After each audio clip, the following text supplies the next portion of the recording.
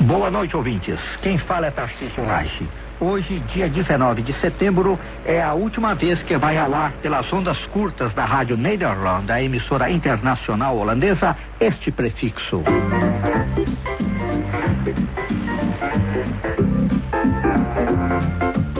Telecine. É, gente, este é o último Telecine, um programa que vínhamos apresentando regularmente todas as segundas-feiras desde dezembro de 1981. O Telecine desaparece porque, na verdade, todo o serviço de ondas curtas para o Brasil da Rádio Nederland está terminando esta semana. Sábado, com a participação de todos os funcionários e colaboradores, será levada ao ar a última emissão para o Brasil da emissora internacional holandesa. Foram 20 anos desde que o serviço brasileiro iniciou suas emissões, 15 minutos inicialmente em 1974. Mas o serviço brasileiro não desaparece completamente. Terminam esta semana apenas as emissões em ondas curtas. Uma equipe permanece em serviço para a preparação de programas a serem enviados ao Brasil por outros meios. Um deles, a utilização de satélites, objetivando a retransmissão por outras emissoras brasileiras. De qualquer maneira, na nova fase da Rádio Nederland, com a utilização de satélites para o Brasil, novos programas estão sendo projetados e, portanto, este é mesmo o último Telecine. Não vamos falar hoje dos festivais que estão sendo realizados, nem dos filmes do momento. É um telecine de despedida e decidimos conversar com Rui Martins, o nosso mais assíduo colaborador. Alô, Rui Martins. Você já sabe, este é o último telecine. Pelo que me lembro, pouco depois da estreia do programa, em dezembro de 1981, você começou suas colaborações. Foi um tempo de mudanças, época das superproduções superando 100 milhões de dólares. E.T., Indiana Jones, Batman e os dinossauros. Também foi a época das televisões por satélite, tipo CNN, das televisões por cabo, colocando em perigo as grandes redes. Um período que vimos a popularização do vídeo. Assistimos o fim da Embrafilme e a morte quase completa do cinema brasileiro durante o desgoverno de Collor de Mello. E foi este período de quase 13 anos em que o Telecine esteve no ar, aqui na Europa, um momento de crise para o cinema que acabou gerando um movimento de resistência, uma união dos cineastas europeus contra a ditadura das grandes distribuidoras ligadas ao esquema hollywoodiano. Muita água correu debaixo da ponte. Quais são suas impressões de tudo isso, Rui Martins? É como se estivéssemos chegando também ao fim de um filme filme longo, daqueles em que a gente é, fica bastante tempo no cinema, mas que infelizmente termina de uma maneira inesperada, ou seja, não tem happy end. É, nós saímos do cinema um tanto frustrados, principalmente nós, que neste caso, Tarcísio e todos os outros que participaram, é, desempenhamos uma função assim de atores nesse filme mal acabado. E, portanto, é essa a sensação que eu posso te dizer neste último programa de telecine, a de um ator frustrado na minha atuação. Ô, Rui, uma coisa muito importante nesses quase 13 anos de telecine, eu creio, um ano muito importante foi 1988, que foi assim declarado o ano europeu do cinema e da televisão. Entre vários, nós batemos muito nessa tecla, nessa guerra, nessa briga do cinema europeu contra a invasão do cinema estadunidense, do cinema hollywoodiano. E uma pessoa que foi muito importante nessa luta toda foi justamente o Jacques Lang, né, que é ex-ministro francês, que desencadeou essa guerra para defender o cinema europeu, para que o cinema europeu não morresse. Você acha que o cinema europeu pode levar a mesma sorte assim do serviço de ondas curtas da Rádio Nederland? Eu acho que realmente o cinema europeu não está atravessando uma boa fase, embora haja algumas preciosidades, algumas pérolas, como o cinema paradiso italiano, por exemplo, e se fale de uma renascença do cinema francês que conseguiu se impor em alguns setores. Nós estamos inclusive vendo agora um filme de Besson feito nos Estados Unidos.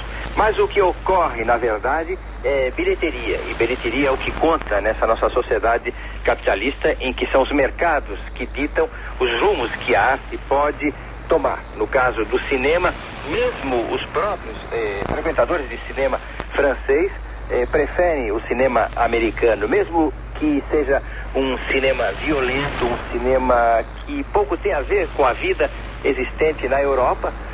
O cinema americano é aquele que desperta mais emoções, é aquele que talvez pelo fato de ser mais rápido, mais vivo nas imagens, eh, consegue atrair um público mais assíduo, mais constante. Pessoas que vão pouco ao cinema, quando vão ao cinema, escolhem filmes americanos, eh, seja filmes de aventuras, seja trailers, seja eh, filmes de suspense.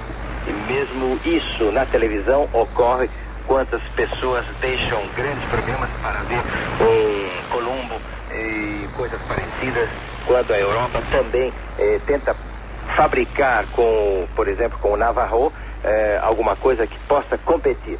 Portanto, o que eu posso, o que me lembro, Tarcísio Laje, é que recentemente houve uma pesquisa sobre frequência de franceses nos cinemas e se eh, verificou que 60% dos entrevistados, um pouco mais de 60%, preferiam ir ao cinema para ver filmes americanos, enquanto que os restantes 30, 35% eh, se repartiam entre os filmes franceses e europeus de outras nacionalidades.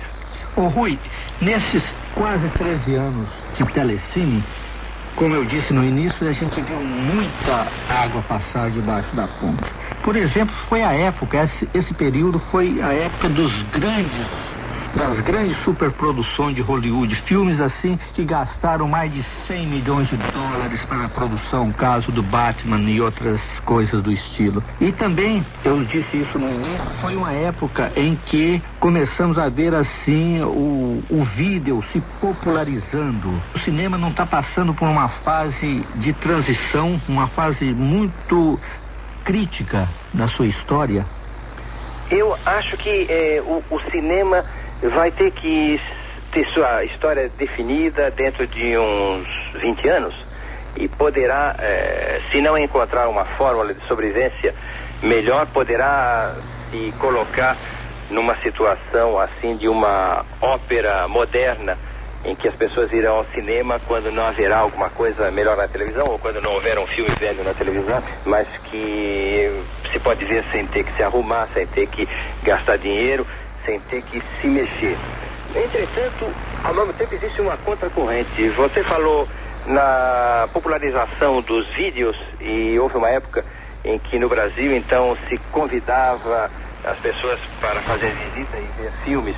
Isso não chegou a acontecer na Europa, mas na Europa o que aconteceu foi que em quase todas as esquinas havia uma loja para se alugar vídeos. E hoje, não sei se você reparou, eh, Tarcísio, a maioria dessas lojas faliram. E parece que o que era uma moda, ver vídeo, eh, está começando de novo a deixar de moda. Todo mundo já se cansou um pouco de ver esses filmes que já foram exibidos e existe talvez uma necessidade no espectador de ver obras novas em telas grandes, com recursos melhores como som estereofônico e também um retorno a, ao ambiente social. Porque existe também uma saturação. A televisão é uma grande ameaça para o cinema, evidentemente. A partir da, momento que a televisão começou a passar filmes adoidados e em vários canais, praticamente todos os grandes filmes, depois de três anos de exibição, estão na televisão, isso passou a ser uma concorrência terrível e quase desleal. Mas é, está, parece que está começando a haver uma saturação da televisão. Pelo baixo nível que a televisão está tendo atualmente aqui na Europa, onde os programas realmente deixam a desejar e a, o simples passar filme já não satisfaz o espectador. É, existe, parece, um movimento em que as pessoas começam a se cansar de perder seu tempo é, diante de uma televisão todas as noites e vão querer, estão começando a querer de novo encontrar outras pessoas, trocarem ideias. E nada melhor por isso do que ver, o, ir até o centro da cidade, ir numa Cinelândia onde tem ou um cinema com um grande telão, ou então esses conjuntos em que tem 10 cinemas pequenos, mas passando 10 grandes novidades, e no qual se pode encontrar pessoas, no qual se pode ir com outras pessoas. Se são jovens, então é a oportunidade de sair eh, com a sua garota ou com seus amigos e romper com essa, esse hábito que nós criamos e enclausurar dentro de casa, e vendo sempre praticamente a mesma coisa. Marco Luan disse que a televisão, ela não importa o que ela transmita, o importante da televisão é que é um milagre. Pois é, aqui estamos chegando ao fim do último Telecine. Nossas despedidas e agradecimentos à atenção de vocês. Primeiro, o Rui Martins. Você da Cijulage e os sobreviventes do grupo da Rádio Nederland consigam fazer um bom filme, um próximo bom filme, que poderá ser telecine, mas que será cine qualquer coisa. Eu também me despeço de vocês com muito obrigado à atenção dispensada ao Telecine, que esteve no ar por quase 13 anos. Boa noite.